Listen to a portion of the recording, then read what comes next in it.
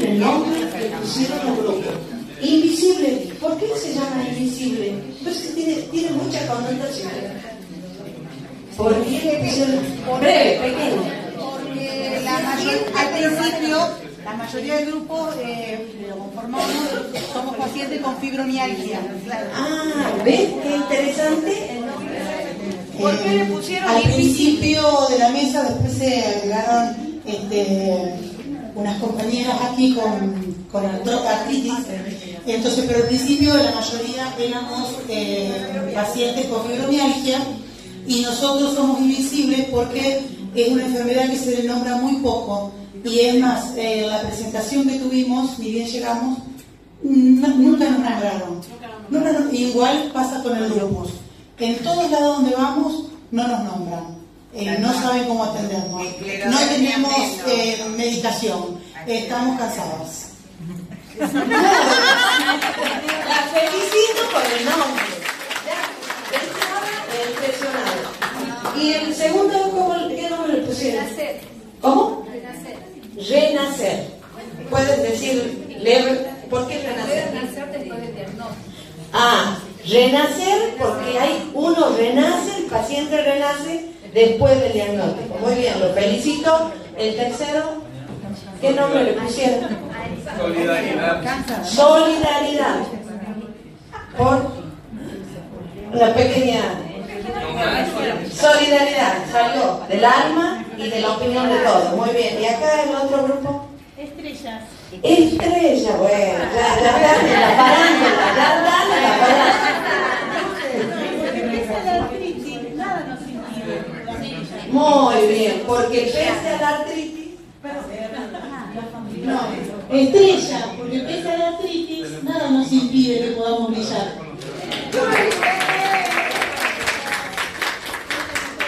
bueno, ahora vamos a leer eh, el resumen de las consignas. ¿Quién es el secretario de esta mesa? ¿Podés, podés pasar? ¿Es posible? Sí, sí, sí, porque ustedes son los ponentes, ustedes son los protagonistas.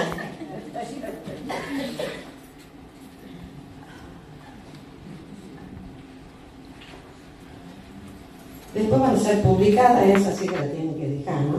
Ah. Pusieron el nombre invisible. Acá para todos. Bueno, en el caso eh, mío particularmente, eh, soy de la Fundación Lupus Córdoba y también me pasó un poco como las chicas de fibromialgia, que bueno, fuimos invisibles un poco en la presentación de hoy. Eh, Por eso coincidimos en el nombre. Bueno, y la descripción de las ah, enfermedades reumáticas que nosotros pusimos, eh, particular las dividimos por cada una de la mesa que nos tocó. Fibromialgia es un trastorno musculoesquelético, invisible, discapacitante, sin tratamiento aún específico. Lupus es una enfermedad autoinmune donde ningún tratamiento es igual. También es discapacitante, pero en estas enfermedades lo que vemos en común, eh, inclusive esclerodermia, es que es una discapacidad visceral. Muchas veces somos doblemente discriminados por ese motivo. AR, una enfermedad progresiva, deformante y dolorosa. Esclerodermia es dolorosa y se manifiesta con manchas en la piel. Eso pusimos en común con, la- con las chicas.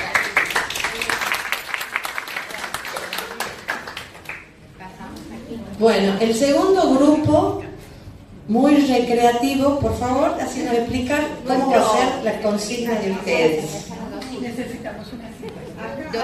Organización. ¿Quién va a explicar cómo van a traducir la consigna? Así. Renacer. Presten atención porque vamos a hacer un breve teatro en donde mucho van a tener que interpretar ustedes.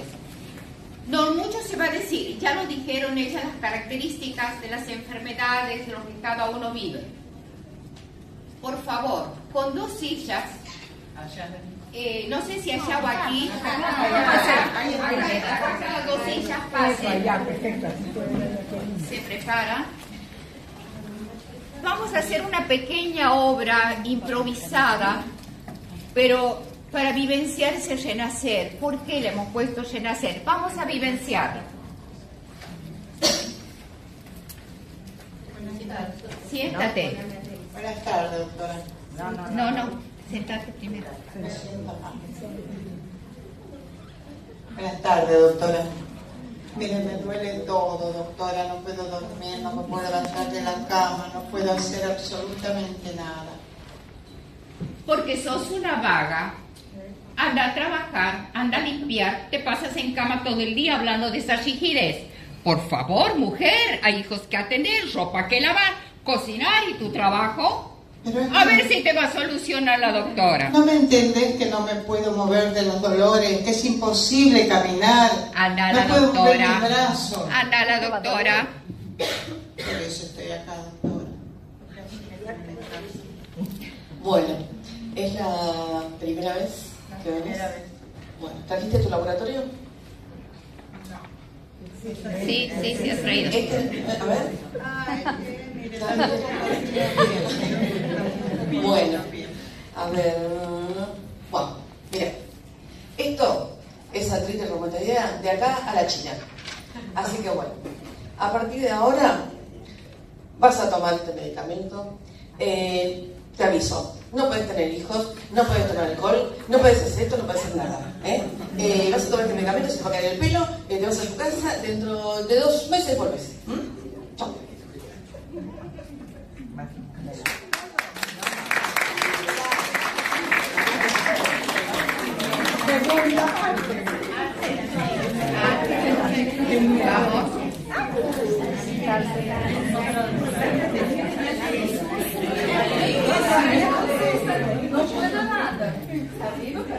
Hola, buen día Ángela, ¿cómo estás? Buen día, ¿cómo estamos? Bien, te traje los análisis que me pediste. Ah, bueno, a ver. Te cuento un poco cómo estuve estos meses. Sí, decime, contame. Y tengo rigidez a la mañana, me cuesta mucho levantarme. Y bueno, tengo la ayuda de mi marido que a veces me da un empujón para levantarme de la cama. Sí, sí, sí, vengo con mucho dolor. Y bueno, a ver, fíjate los análisis, a ver qué dice. Bueno, los análisis no salieron muy bien, que digamos, ¿no? Así que está bastante avanzadito la enfermedad esta, así que tenés que cuidarte. Tenés, yo te voy a dar unas recetas, vas a tomar, las bien, yo te voy a poner cómo las tenés que tomar y todo. Así que despacito, despacito vamos a salir de esto y vas a, a mejorar. Y puedo llamarte o venir a verte cuando necesites. Ah, te voy a dar entonces mi celular, haciendo cualquier cosita me da. Bueno, muchas gracias. Agustina.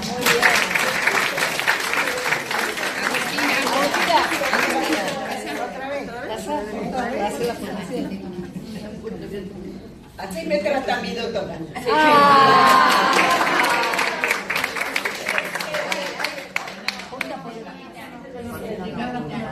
Ah, que nos juntamos con nosotros. Se unen a las pacientes. ¿Cómo está? Hola, ¿qué haces por acá? Bien, bien, tratando de mejorar un poco porque mi doctora me dijo que no podía hacer nada, que se me va a caer el pelo, que no voy a poder tener hijos, pero no me dio ningún resultado. ¿Pero qué tenés? Tengo artritis reumatoidea. Ah, yo también, pero me estoy tratando con una doctora que la verdad me, me indicó todo cómo tenía que hacer y bueno, me mandó a hacer más estudios, pero me parece que tendríamos que juntarnos un poco los que tenemos artritis reumatoidea y ver qué podemos hacer para no quedarnos solamente con un médico y que nos tire así el papel y nos diga... ¿Y tu médica te dio resultado? Sí, ¿Y no me puedes dar el nombre de tu médico? sí, sí, no, te Bueno, pásamelo porque la bruja mía abajo. Bueno, y tratemos de ver si juntamos más pacientes, a ver si juntos podemos Dale. hacer algo y caminemos juntos Me comprometo, me comprometo a eso. Bueno, Caminemos juntos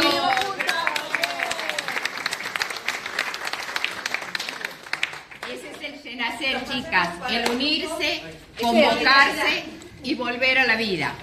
Por eso nuestro nombre. muy Eh,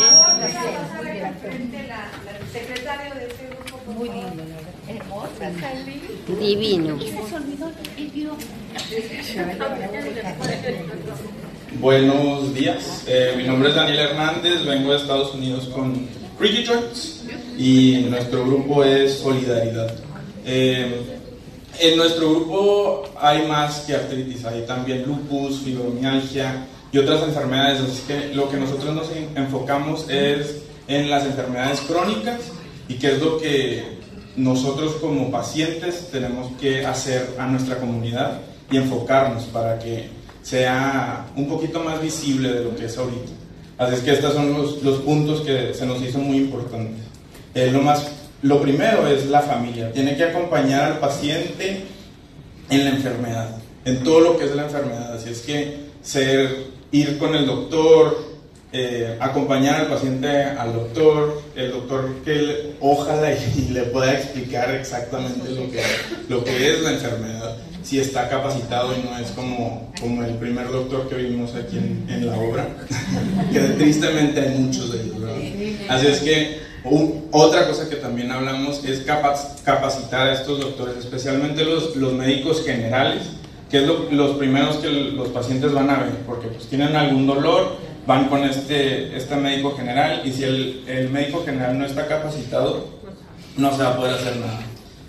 ¿Qué más podemos hacer? Ya que sepamos que tenemos esta enfermedad, tenemos que ser muy, muy conscientes de siempre ser una fuente de información para todos alrededor de nosotros.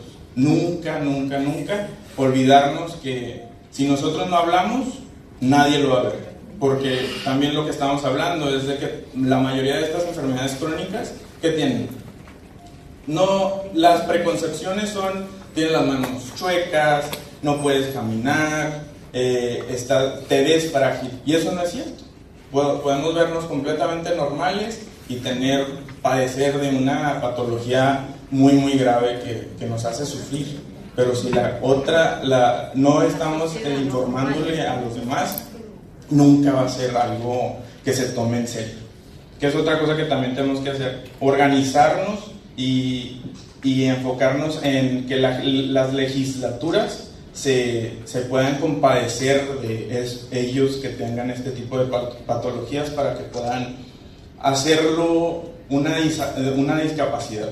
Que ya que sea do- este, nominada como una, una, una discapacidad, estos medicamentos pueden ser más, más este, accesibles a todos.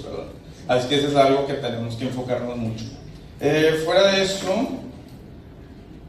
eh, también ir a los medios, todo, todo tiene que, todo se, se basa en ser la fuente de información y ser parte de este tipo de grupos, que nos podamos este, explicar y, y entender qué son las, la- los, los tratamientos más nuevos que existen y ir a nuestra comunidad y difundir esta infor- información para que esta información falsa que si te pones un poquito de sábila te vas a aliviar y cosas así no sean ya parte de nuestra de nuestra conversación que sea muy muy raro ¿y eso es todo?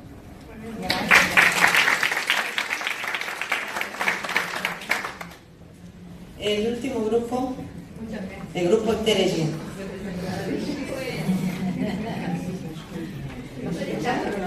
El grupo Estrella, queda pequeño bailando por un sueño, ¿no? A, a la par de usted. Bueno, buen día, mi nombre es Marta, soy de ACAEA, que es la Asociación Civil para Artritis en Argentina. Perdón.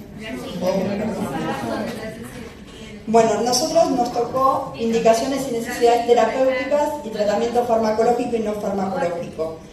En tratamiento farmacológico creo que es todos los remedios que tomamos todas, que conocemos. Siempre empezamos con un dolor, empezamos con los analgésicos, los antiinflamatorios, después pasamos a los corticoides, después el protector gástrico para que no nos haga pomada, después la vitamina D, el calcio, el fijador de calcio, que ahora lo están suspendiendo porque no hace muy bien. Yo soy la prueba, perdí media boca. Después la hidroxicloroquina, que muchas veces se toma, alguna gente sí, otras no, el metotresato, la lefludomida, y después pasamos a los biológicos, en mi caso y en muchos que ayudó. Hay pacientes que no necesitan pasar a los biológicos, por suerte, porque pueden controlarlo con metotresato. Bueno, eso es lo que conocemos dentro de los tratamientos farmacológicos. Y después los no farmacológicos, que es lo que nos ayuda todos los días, tenemos la kinesiología, la fisiatría, la terapia ocupacional, la terapia psicológica individual y grupal, la gimnasia consciente, la terapia recreativa, cuando se juntan tanto tejido, bordado, manualidades, eh, todo lo que nos haga bien a despejar la cabeza y en esos momentos ayudarnos a sentirnos mejor y olvidarnos de todo lo que nos duele a veces. También es muy bueno, nos pasa creo a muchos de los que estamos acá, los grupos de encuentro entre pacientes donde podemos hablar, todos sentimos lo mismo, sabemos lo que nos ocurre. Eh, si nos duelen, nos entienden, como decían allá, el familiar a veces no te entiende. Eh, vos estás con un dolor, un problema, o un amigo no te entiende, muchas veces pasa que se alejan, pero en cambio con un grupo que todos tenemos la misma patología, eh, nos podemos ayudar y entender mejor. Eh, y después, bueno, lo que, como necesidades terapéuticas, lo que encontramos en común en el grupo es que en algunas cosas falta información, mismo nos pasó mucho cuando vamos al dentista hacer una extracción de muelas y no lo podemos hacer si no hacemos una profilaxis y hay muchas veces los dentistas no están informados de lo que es la artritis y lo que es el tratamiento y eso es una de las cuestiones que creo que es importante. Así que bueno. Eh,